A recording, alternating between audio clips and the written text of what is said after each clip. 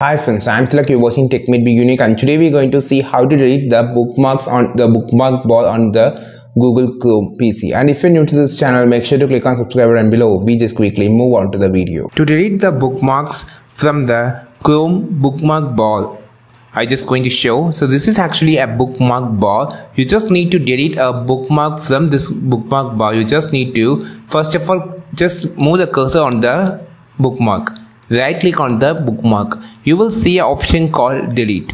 So just click this which will be deleted. So for if you just need to delete here you can just easily just move it and you can just delete it or just right click on the url whatever the bookmark you just click on the delete option. It will be deleted completely so this is how you just delete the bookmarks on the bookmark bar of the Google Chrome. I think this video helped you a lot. Like this video, share this video, subscribe this channel. We will meet our next video with the super valuable content.